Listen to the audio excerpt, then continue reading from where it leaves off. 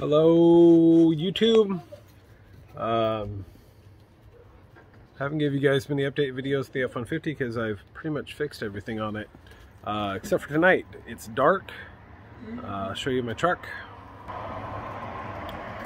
Came out here just a few minutes ago and noticed that my dome lights were on.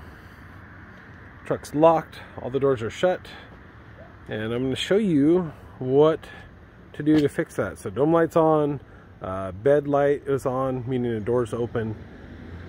So here's what we got. We got two dogs. We got a new dog. We got Nova on the left. We got Turtle. Turtle. She's uh, old steady Eddie or a Kelpie. Anyway, here we go. I know some people have whined a little bit that I chit chat too much about stuff that they don't want to hear about. So thank God there's a fast forward on YouTube, right? Anyway, so here's the truck.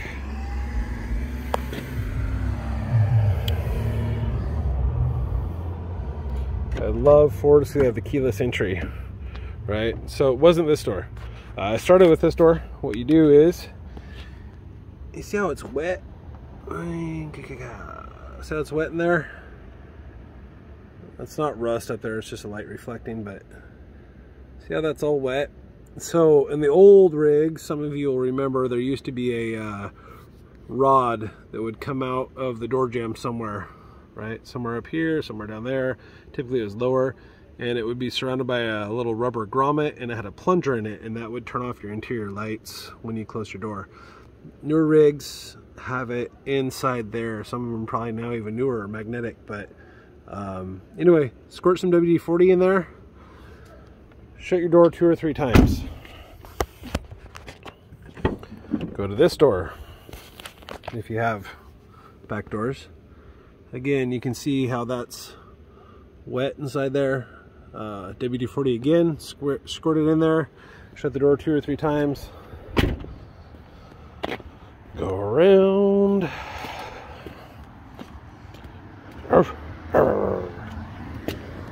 And bark at your dogs. Again, squirt WD-40 in there in the mechanism area. Whatever you want to use. I don't care if it's WD-40. Squirt a penetrant in there. Shut it two or three times.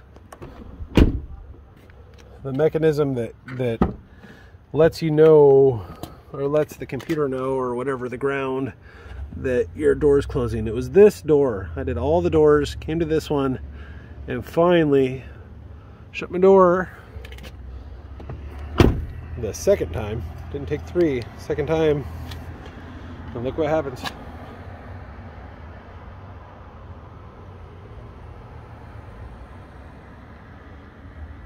just in case you like you're inside fumbling with your wallet and everything it stays on for quite a while but